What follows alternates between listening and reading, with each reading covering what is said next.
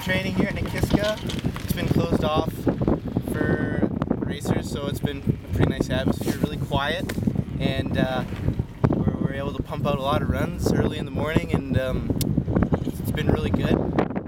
We're just getting used to the new GS skis and the new Super G skis. Uh, lots of drill courses, so that it makes it for an easier transition. And yeah, it's pretty good.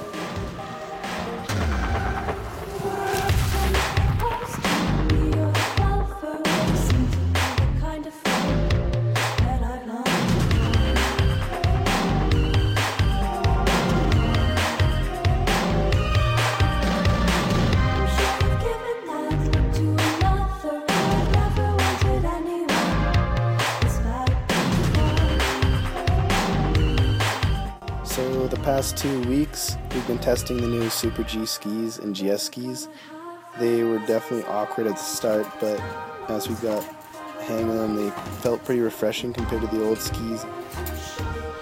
Now that the season's come to an end and the snow is starting to melt, I'm starting to get back on my bike and I'm definitely excited to do that and also start dryland training, get a little stronger for next year.